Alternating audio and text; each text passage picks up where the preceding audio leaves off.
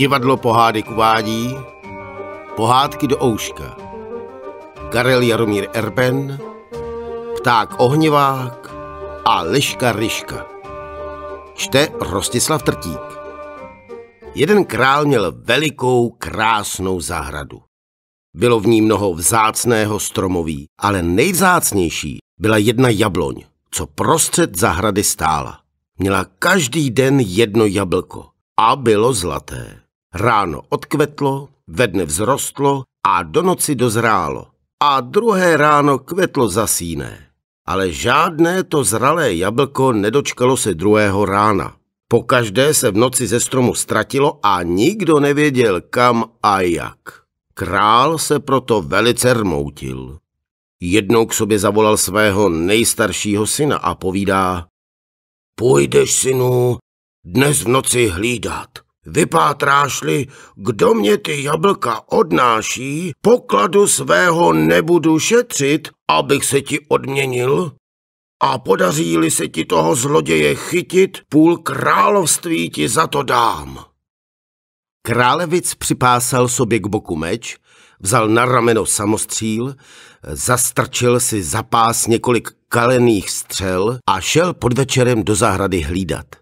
Tam se posadil pod jabloň a čekal. Neseděl dlouho, přišla na něj dřímota, některak se jí nemohl ubránit. Ruce mu klesly do trávy, oči se zahmouřily a králevic, jako by ho do vody hodil, spal až do bílého dne. Ráno, když se probudil, bylo jablko za sto tam. Což? Tal se ho král. Zdali zviděl zloděje. Nepřišel žádný, odpověděl králevic. Samo se jablko ztratilo. Král zavrtěl hlavou, nechtěl tomu věřit. Jdi dnes ty hlídat, synu můj, povídá k mladšímu. A dohlídáš-li se zloděje, bohatě se ti odměním. Druhý králevic ozbrojil se zase tak jako první a šel hlídat. Ale za nějakou chvíli taky pod jabloní usnul jako starší bratr. A když se probudil, bylo zas jablko pryč. Když se ho pak otec ráno ptal, kdo jablko vzal, odpověděl, nikdo, samo se ztratilo. Tehdy ten nejmladší králevic povídá, otče, dnes já půjdu hlídat, abych věděl, ztratili se mi taky to zlaté jablko. Milé dítě, řekl mu král, ty, myslím, málo pořídíš, jsi ještě příliš mladý a nemoudrý. A když se starším nepodařilo zlatého jablka se dohlídat, tím méně tobě. Ale když chceš, jdi. Večer, když už se stmívalo, šel nejmladší do zahrady hlídat. Vzal sebou taky meč, samostříl a něco střel. Ale mimo to i ješčí kůži. V zahradě posadil se pod jabloň a prostřel si tu kůži na klín. Když by na něj přicházela dřímota a ruce mu klesly, aby ho ta kůže probudila. O půlnoci přiletěl zlatý pták, sedl si na strom a chtěl to jablko uzobnout. V tom okamžení lupnul králevicův samostříl a kalená střela uhodila ptáka do křídla. Tak uletěl, ale jedno zlaté péro vypadlo mu z křídla na zem a jablko zůstalo na stromě. No, máš-li zloděje? Tal se ho ráno král. Nemám, odpověděl králevic. Ale co není, může ještě být. Zatím mám kus jeho kabátu. Tu vyndal to zlaté péro a vypravoval, co se mu přihodilo. Král byl tomu péru velmi rád. Bylo tak krásné a takovou zář od sebe vydávalo, že v noci v síni královské ani světel potřebí nebylo. Dvořané, co tomu rozuměli, pravili, že to péro pochází z ptáka ohniváka a že je dražší nežli všecky poklady královi. Od té doby pták ohnivák už do zahrady nepřiletěl a jablka se nestrácela. Ale krále už taky nic netěšilo. Myslel pořád jen na ptáka ohniváka a velice se rmoutil, že ho nemá. Až mu pak z toho zármutku počalo srdce vadnout. Jednoho dne zavolal k sobě své tři syny a povídá. Milé děti, vidíte, že den ode dne víc chřadnu, ale vím zajisté, kdybych uslyšel ptáka ohniváka zpívat, že by mé srdce okřálo. Kdo mi z vás toho ptáka ohniváka živého přinese, aby zpíval, polovici království mu hned postoupím a po mé smrti bude mým nástupcem. Synové hned se vypravili na cestu. Rozloučili se s otcem a jeli toho ptáka ohniváka hledat. Nedlouho jeli, přejeli do lesa a v lese na křižovatku. Kudy se dáme? Ptá se nejstarší bratr. Jsme tři a tu před námi tři cesty, odpověděl druhý. Dejme se každý jednou. Když se na tři strany rozjedeme, snáze ptáka ohněváka se doptáme. A kdo kterou stranou pojede? Jděte vy si každý, kterou cestou chcete, povídá nejmladší. Já pojedu tou, co mi zůstane. Bratři byli spokojeni a každý si zvolil jednu cestu, kudy pojede. Potom povídá jeden. Dejme si tu na tom místě nějaké znamení, kdo se dřív vrátí, aby věděl, jak se druhým podařilo. Zastrčme každý do země proutek. Čí prut poroste, bude znamení, že ptáka ohniváka šťastně dostal. Bratřím se ta rada líbila. Každý si vsadil podle své cesty do země proutek a pak se rozjeli. Nejstarší králevic jel svou cestou pořád, až přijel na nějaký vrch. Tu skočil z koně, pustil ho, aby se pásl a sám si sedl do trávy. Potom vyndal, co měl k jídlu a začal obědvat. V tom přiloudila se k němu liška ryška.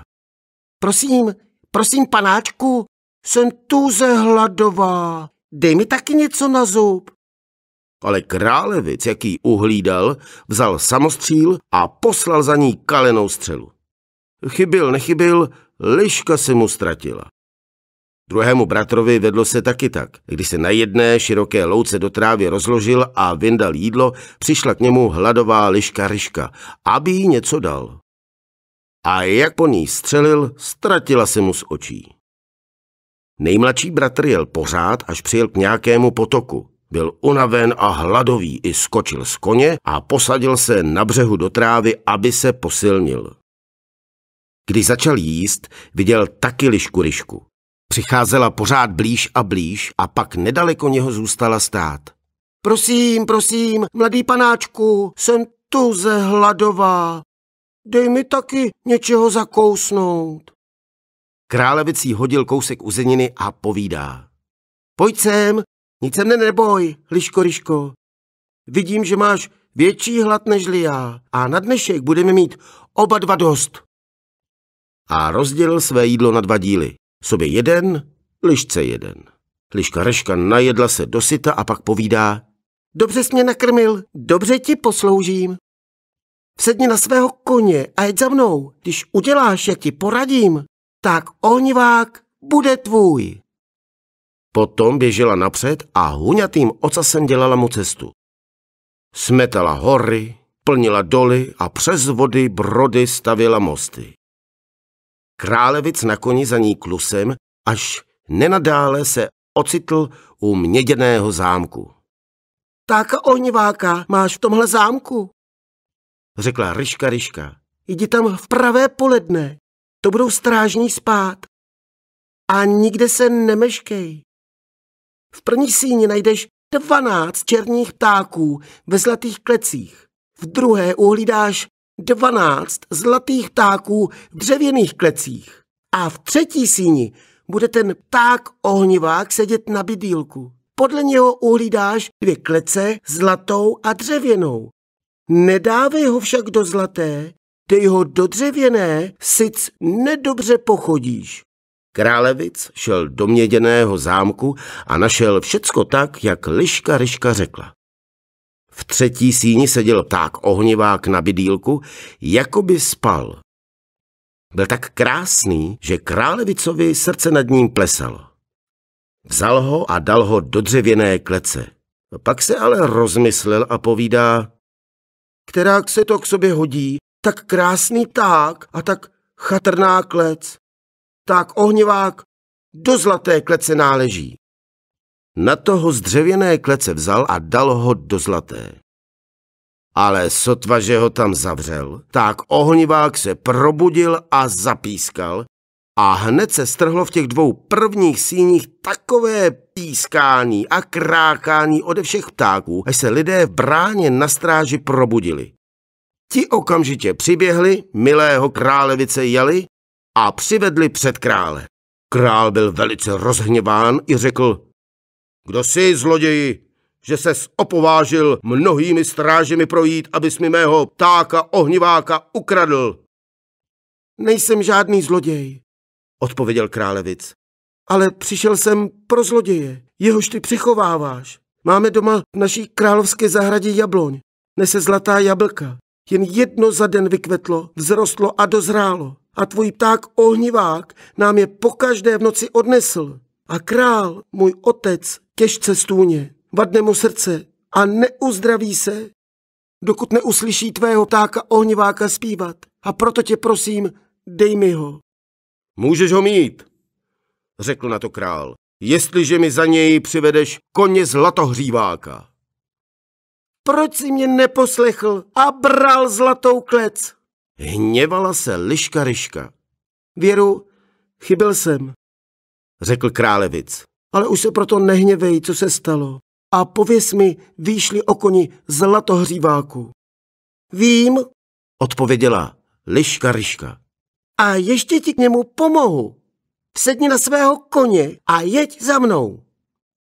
Pak zas běžela napřed a huňatým ocasem dělala mu cestu. Králevic za ní klusem, až nenadále se ocitl u stříbrného zámku.